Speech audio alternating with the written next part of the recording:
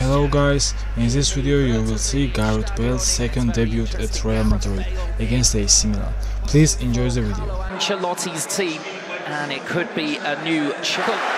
Just to take the ball away, it looks as though we're going to get an open encounter here between these two. Now it's Gareth Bale down the right-hand side, just cutting in. Field for Modric. Oh, he seems to have time and space to do what he likes with it. Now Bale to take on Hernandez, playing the ball across, and that's good goalkeeping from Mikeman. It's to Modric, back to Bale here on the left-hand side now. Just clipping the ball towards the back stick, and it was a tricky one as well. And I think in the end it's been given as a goal kick.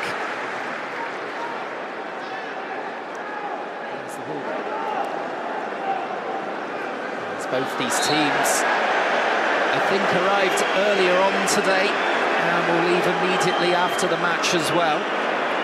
No training camps for them in Austria. It's a lovely little run there from Lucas Vazquez. Now on to Bale, who cuts inside and he's brought down as he does so.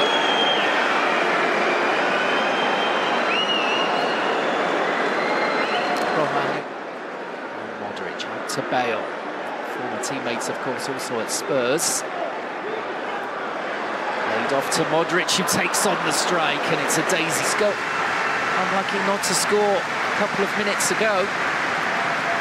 Now Bale finds no one from Tomori. And Bale is on the charge down the right-hand side here. That's a lovely ball down the channel towards him. Hernandez is tight there, though, and comes away with the ball. I think that Bale just lost his footing.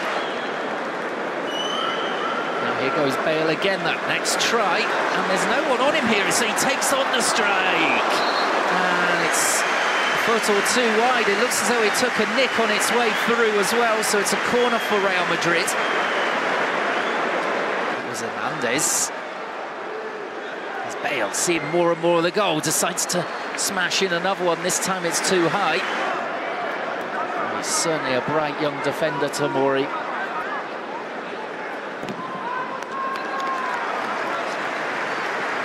Up through the... Here comes a corner and it's Bale who wins it. And goes over the bar.